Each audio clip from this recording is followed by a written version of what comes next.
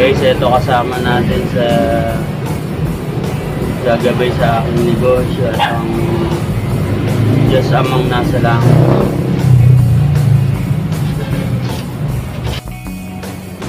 Uh, guys, maglalagay tayo dito ng lalagyan ng condiments o yung mga asin-asin din. Kasi pinaka-kusina to.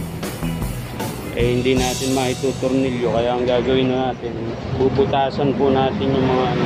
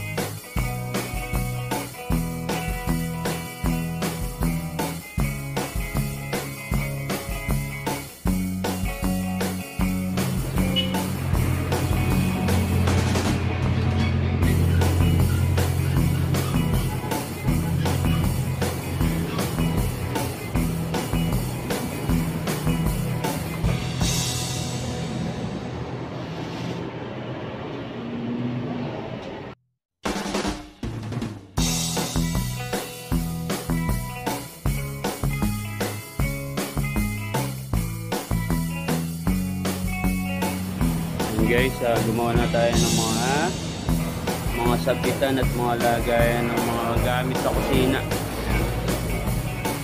Ayan, mga sabitan. Uh, istakan sa taas, yan, mga cup no, cup. Ayan guys. Lagyan ko din ito para sabitan ng ano.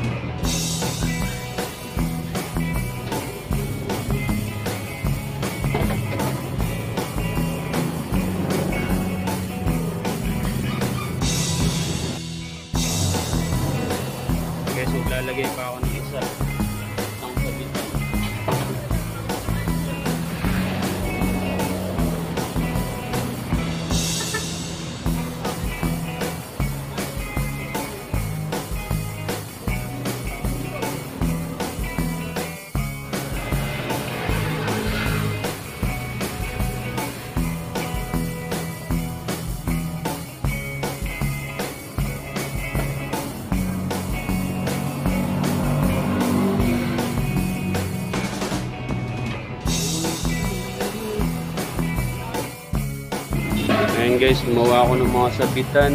Ayan, mga tao ba ng mga plato. Ah, mga naka-arrange na guys yung mga gagamitin natin pantinda. Ayan. Oh. Gawa rin ako ng mga sabitan.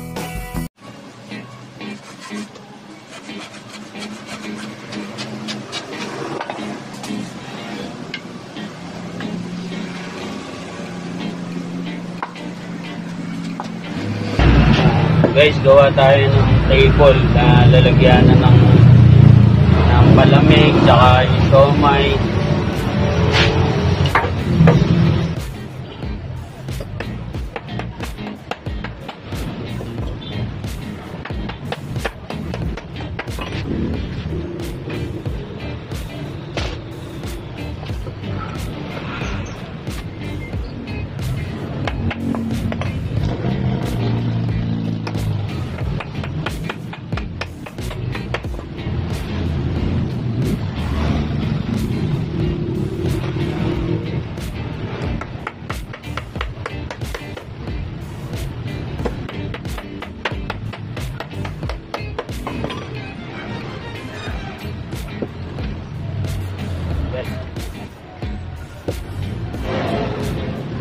nasa kalsada po tayo.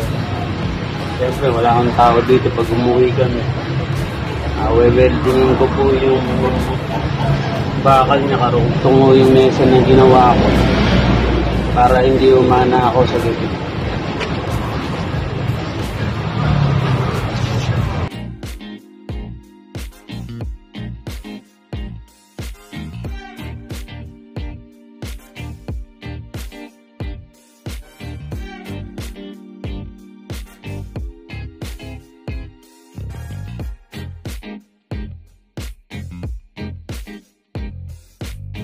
Check, ah, magna 9 na guys. ah, magna 9 PM na. Ah, pero nagawa ko na po yung ano, ah, winelding na winelding natin po yung yung bakal para hindi po manakaw. Ah. Yan po yung lutaan natin ng mga pugo. Pritong pugo yan. Tapos ito yung patungan ngayon ng palamig, yung buko. Buko juice, tsaka yung mga pritong pugo, siomay. Ayan, nagawa na po dito. Lalagyan po natin siya ng ah, displayan po ng mga pasalubong. Ayan, lagayan din po ng pasalubong yan. Ah, medyo makalat po kasi hindi pa po natin